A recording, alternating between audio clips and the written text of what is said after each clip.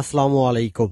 স্বাগত জানাচ্ছি বিবিসি আন্তর্জাতিক সংবাদে। সংবাদের শুরুতেই থাকছে সংবাদ শিরোনাম। ইসরায়েলের ড্রোন ভূপাতিত করেছে হিজবুল্লাহ। এরপর জানিয়ে দিব, ইসরায়েলি দখলদারিত্ব আন্তর্জাতিক বিচারের অবমাননা, বলছে আরব লীগ। এরপর জানিয়ে দিব, ইসরায়েলের স্বার্থে ইয়েমেনে হামলা চালাচ্ছে যুক্তরাষ্ট্র ও ব্রিটেন, বলছে ইরান। এরপর জানিয়ে দিব, গাজায় ইসরায়েলি হামলায় নিহতের সংখ্যা বেড়ে দাঁড়িয়েছে উনত্রিশ হাজার সাতশো বিরাশি জনে।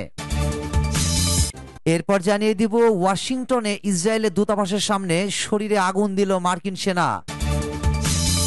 এবং সর্বশেষ জানিয়ে দেব, গাজায় যুদ্ধবিরতি ইস্যুতে আলোচনা। শুনছিলেন সংবাদ শিরোনাম, এখন বিস্তারিত।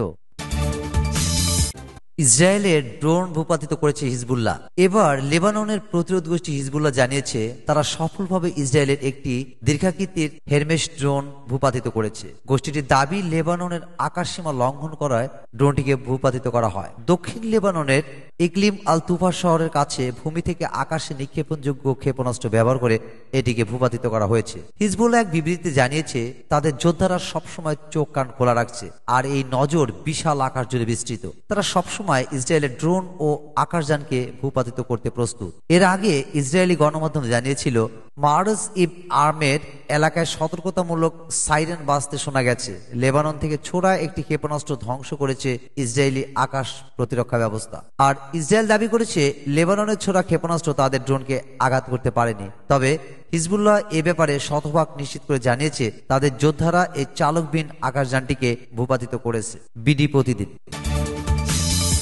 ইসরায়েলি দখলদারিত্ব আন্তর্জাতিক বিচারের অবমাননা, আরব লীগ। ফিলিস্তিনি ভূখণ্ডে ইসরায়েলের দখলদারিত্ব আন্তর্জাতিক বিচারের অবমাননা বলে মন্তব্য করেছেন আরব লীগের প্রতিনিধি আব্দুল হাকিম আল রিফাই। আন্তর্জাতিক ন্যায় বিচার আদালতে দেয়া এক ভাষণে তিনি বলেন, ফিলিস্তিনে ইসরায়েলের দখলদারিত্ব ঔপনিবেশবাদের সর্বশেষ চিহ্ন। একুশ দশকে এসেও যা এখনও দিব্যি বহাল রয়েছে। রিভাই বলেন, দীর্ঘ সময় ধরে ইসরায়েল ফিলিস্তিনি ভূখণ্ড দখল করে রেখেছে। তাদের এই দখলদারিত্ব আন্তর্জাতিক আদালতেরই অবমাননা। আইসিজে এই দখলদারিত্বের অবসান ঘটাতে ব্যর্থ হচ্ছে। এই ব্যর্থতা পরিস্থিতিকে ফিলিস্তিনে ভয়াবহ রকমের গণহত্যার দিকে নিয়ে যাচ্ছে। তিনি আরও বলেন, ইসরায়েলের পক্ষে ভূমি দখল, হত্যা, সন্ত্রাস কিংবা ফিলিস্তিনিদের বাস্তুচ্যুত করার কোনো নৈতিক বা বিচারিক যুক্তি থাকতে পারে না।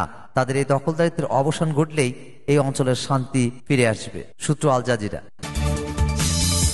ইসরায়েলের স্বার্থে ইয়েমেনে হামলা চালাচ্ছে যুক্তরাষ্ট্র ও ব্রিটেন, ইরান। ইয়েমেনের উপর আমেরিকা এবং ব্রিটেনের সর্বশেষ বিমান হামলার কঠোর নিন্দা জানিয়েছে ইরান। ইরানের পররাষ্ট্র মন্ত্রণালয়ের মুখপাত্র নাসের কানাই বলেছেন, এই বিমান হামলার মধ্যে দিয়ে আরও একবার প্রমাণ হয়েছে যে পাশ্চাত্যের এই দেশ দুটি শুধুমাত্র ইসরায়েলের স্বার্থে আন্তর্জাতিক নিরাপত্তাকে বিসর্জন দিয়েছে, সূত্র পার্স টুডে ইয়েমেনের রাজধানী সানা সহ দেশটির বিভিন্ন স্থানে ইঙ্গো মার্কিন বাহিনী নতুন করে হামলা চালানোর পর রোববার এসব কথা বলেন ইরানের পররাষ্ট্র মন্ত্রণালয়ের মুখপাত্র। তিনি বলেন, এই ধরনের স্বেচ্ছাচারী ও হটকারী হামলা আন্তর্জাতিকভাবে স্বীকৃত রীতিনীতি এবং ইয়েমেনের সার্বভৌমত্ব ও আঞ্চলিক অখণ্ডতা লঙ্ঘন করে। নাসের কানানি আরও বলেন, ইয়েমেনি হামলার মধ্য দিয়ে আমেরিকা ও ব্রিটেন প্রমাণ করেছে যে তারা গাজা এবং পশ্চিম তীরে ইসরায়েলের যুদ্ধপরাধের প্রতি পূর্ণ সমর্থন দিচ্ছে। এছাড়া, আন্তর্জাতিক শান্তি ও নিরাপত্তার চেয়ে দখলদার ইসরায়েল সরকারের অবৈধ নিরাপত্তা ও স্বার্থকে প্রাধান্য দিচ্ছে তারা। ইরানি পররাষ্ট্র মন্ত্রণালয়ের মুখপাত্র আরও বলেন, আমেরিকা এবং ব্রিটেন দেখিয়ে দিয়েছে যে তারা সমস্ত মানবিক নীতি নৈতিকতা আন্তর্জাতিক আইন এবং জাতিসংঘ সনদ লঙ্ঘন করছে। এই দুটি দেশ মধ্যপ্রাচ্যের উত্তেজনাকে বাড়িয়ে দিতে এবং গাজা যুদ্ধের বিস্তৃত ঘটাতে চায়, যাতে করে ইসরায়েলের যুদ্ধপরাধের বিষয়ে বিশ্ব জনমতকে ভিন্ন দিকে ঘুরিয়ে দেওয়া যায়। গাজায় ইসরায়েলি হামলায় নিহতের সংখ্যা বেড়ে দাঁড়িয়েছে উনত্রিশ হাজার সাতশো বিরাশি জনে। গাজা উপত্যকার হামাস পরিচালিত স্বাস্থ্য মন্ত্রণালয় সোমবার বলেছে, ফিলিস্তিনি যোদ্ধা এবং ইসরায়েলি বাহিনীর মধ্যে যুদ্ধে অবরুদ্ধ এ উপত্যকায় এ পর্যন্ত কমপক্ষে উনত্রিশ হাজার সাতশো বিরাশি জন নিহত হয়েছে। মন্ত্রণালয়ের এক বিবৃতিতে বলা হয়, গত চব্বিশ ঘন্টায় গাজায় ইসরায়েলি হামলায় নব্বই জন নিহত হওয়ায় এ সংখ্যা বেড়ে মোট উনত্রিশ হাজার সাতশো বিরাশি জনে দাঁড়াল। এদিকে গত সাত অক্টোবর যুদ্ধ শুরু হওয়ার পর থেকে গাজায় মোট সত্তর হাজার তেতাল্লিশ জন আহত হয়েছে, সূত্র এএফপি। ওয়াশিংটনে ইসরায়েলের দূতাবাসের সামনে শরীরে আগুন দিল মার্কিন সেনা। ওয়াশিংটনে মার্কিন দূতাবাসের সামনে নিজের শরীরে আগুন দিয়েছেন যুক্তরাষ্ট্রের সামরিক বাহিনীর এক সদস্য। দেশটির কর্মকর্তারা এ তথ্য নিশ্চিত করেছেন।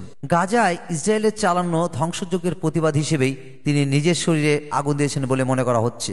স্থানীয় সময় গতকাল রোববার বিকেলে এ ঘটনা ঘটে। ওই ব্যক্তিকে আশঙ্কাজনক অবস্থায় সেখানকার একটি হাসপাতালে ভর্তি করা হয়েছে। যুক্তরাষ্ট্রের লাইভ ভিডিও স্ট্রিমিং টুইচে ক্লান্ত অবস্থায় ওই ব্যক্তিকে বলতে শোনা যায় তিনি আর গণহত্যার মতো অপরাধ করতে চান না। এরপরই তিনি নিজের শরীরে তরল জাতীয় দাহ্য পদার্থ ঢেলে আগুন ধরান। মাটিতে পড়ে না যাওয়া পর্যন্ত তাকে চিৎকার করে বলতে শোনা যায়, ফিলিস্তিনকে মুক্ত করো। এদিকে মিশরের সীমান্তবর্তী এলাকা রাফায় বিমান হামলা শুরু করেছে ইসরায়েলি বাহিনী। এতে হতাহতের সংখ্যা বাড়ছে। এতদিন রাফাতে নিরাপদ মনে করা হলেও এখন পরিস্থিতি ভয়াবহ উঠেছে। গাজার বিভিন্ন জায়গা থেকে বাস্তুচ্যুত ফিলিস্তিনিরা রাফায় আশ্রয় নিয়েছে। গত সাত অক্টোবর পর থেকে ইসরায়েলের হামলায় গাজায় উনত্রিশ হাজারও বেশি মৃত্যুর খবর পাওয়া গেছে। আহত হয়েছে প্রায় সত্তর হাজার, সূত্র আল জাজিরা। গাজায় যুদ্ধবিরতি ইস্যুতে আলোচনা। গাজায় যুদ্ধবিরতি ইস্যুতে আসার খবর শোনালো ইসরায়েল। শিগগিরই পৌঁছানো যেতে পারে ঐক্যমতে। এক প্রতিবেদনে ইসরায়েলি সংবাদ মাধ্যম টাইমস অফ ইসরায়েল এ তথ্য জানায়। প্রতিবেদনে বলা হয়, কাতারের রাজধানী দোহায় অনুষ্ঠিত হয় যুদ্ধবিরতি ও জিম্মি মুক্তি ইস্যুতে আলোচনা। এতে যোগ দিয়েছে মিশর, কাতার, ইসরায়েল, যুক্তরাষ্ট্র এবং হামাসের প্রতিনিধিরা। শনিবার ফ্রান্সের প্যারিসে এই ইস্যুতে নেওয়া হয় একটি পরিকল্পনা। সেই পরিকল্পনার উপরই আলোচনা হয়েছে দোহার বৈঠকে। প্যারিসের বৈঠকে ওই পরিকল্পনা কাঠামোর প্রতি সম্মতি দিয়েছেন ইসরায়েলের যুদ্ধকালীন মন্ত্রিসভার সদস্যরা। এতে প্রথম ধাপে ইসরায়েলের চল্লিশ জিম্মিকে মুক্তি দেবে হামাস। বদলে গাজায় চলবে ছয় সপ্তাহের যুদ্ধবিরতি। গাজার উত্তরাঞ্চলে ফেরার সুযোগ দেওয়া হবে নারী ও শিশুদের। মুক্তি দেওয়া হবে কয়েকশো ফিলিস্তিনি বন্দীকে। জানা গেছে, দোহায় আলোচনা শেষে কায়রোতে আর দফা বৈঠক করবেন প্রতিনিধিরা।